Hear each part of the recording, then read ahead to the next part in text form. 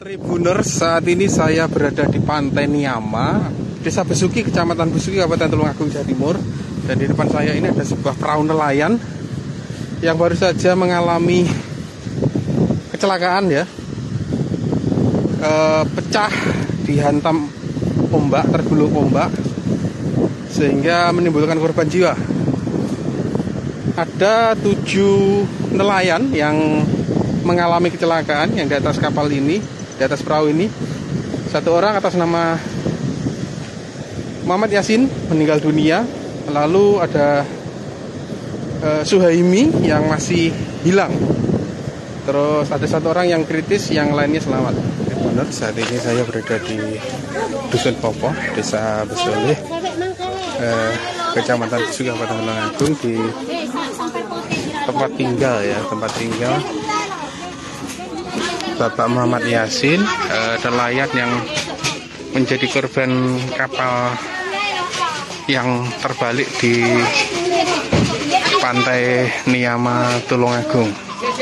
Jadi jenazah akan dibawa pulang ke Pasuruan di tempat tinggalnya. Jadi korban bersama sejumlah keluarganya itu memang berasal dari Kabupaten Pasuruan uh, kalau nggak salah kecamatan Lekok ya.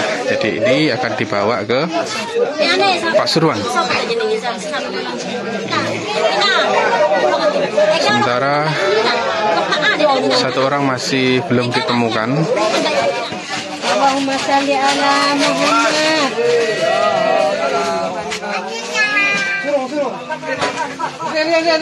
Oh, tarik, tarik. Tarik, Ya, sekali lagi nih eh, jenazah Pak Muhammad Yasin korban meninggal dunia eh, perahu nelayan yang pecah di pantai Niama akan dievakuasi dibawa pulang ke Pasuruan di Kecamatan Lekok tempat keluarganya berasal.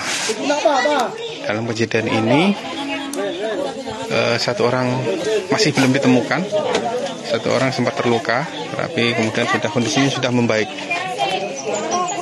Ya, sebenarnya kondisi ombak masih bersahabat ya, masih uh, landai dan kebetulan memang sedang musim musim ikan uh, terutama layur ya. Jadi korban tadi bersama uh, kru kapal, kru uh, perahu itu sedang menebar jaring di sekitar pantai Niama untuk menangkap layur. Namun eh, datang ombak colongan. Jadi istilah ombak colongan itu ombak besar yang datang tiba-tiba di saat kondisi cuaca cerah. Gitu. Jadi saat itu eh, ombak colongan menghantam dari arah samping sehingga menggulung kapal. Korban ini meninggal karena terjerat eh, jaring. Satu orang masih hilang, satu orang sempat kritis tapi sudah membaik.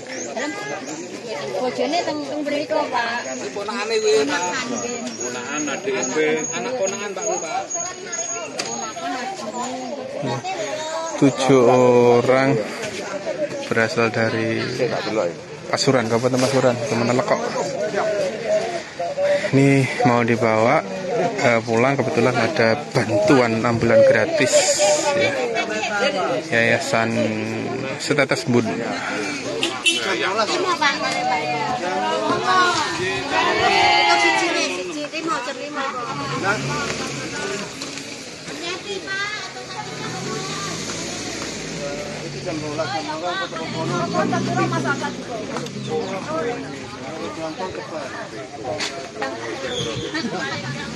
对，我都想听听。